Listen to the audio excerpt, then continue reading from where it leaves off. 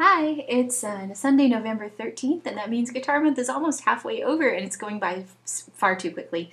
I'm really enjoying this month, um, and I think it's partly because I chose something to work on that I absolutely love already, so I'm having fun trying to do it justice. Um, today I'm going to play something very, very simple, um, but it represents a big accomplishment for me personally, so um, I'm happy to share it with you. So let me play and then I'll explain.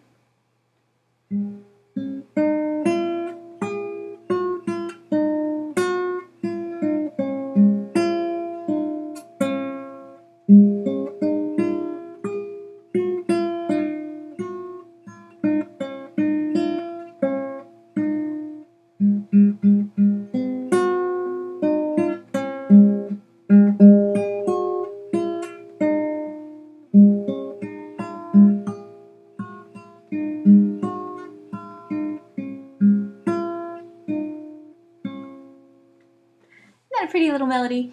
That is exercise number 19 from the book called The Guitar with Frederick Noad. And um, I'm just going to show you what makes that so special for me.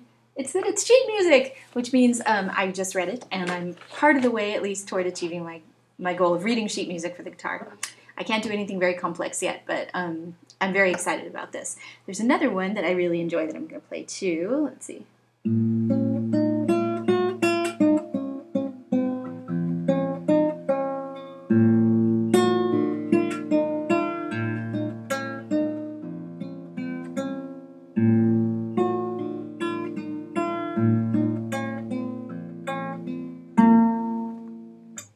I'm excited. Um, I've, you know, the first time I picked up a guitar to actually play something on it was about 20 some years ago, and I never had any idea how the notes on the page coordinated with the notes on the, um, the keyboard and the, the guitar neck, so I'm really excited to be able to figure this, this out. Um, other than that, I've been working on my Carcassi etude, and maybe I'll play a little bit of that for you right now, too. Let's see.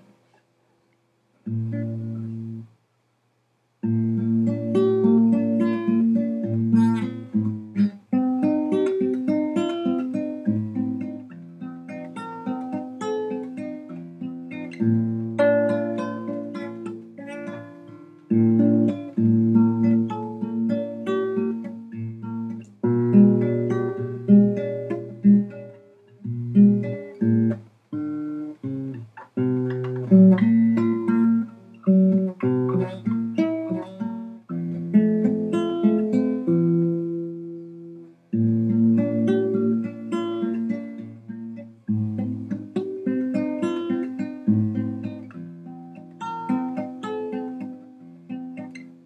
the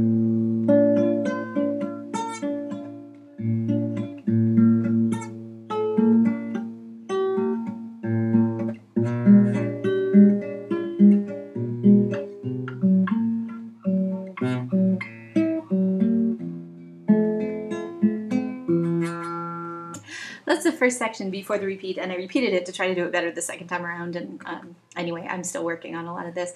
There's one section in particular, and if I turn this way enough, you can see where my fingers are, and it's um, let's see,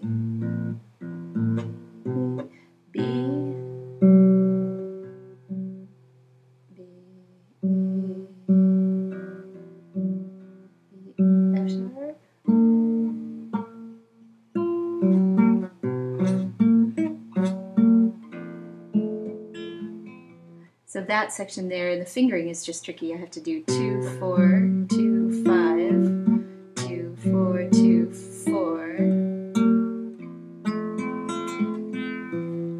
It's always a relief to come back to the uh, open E chord.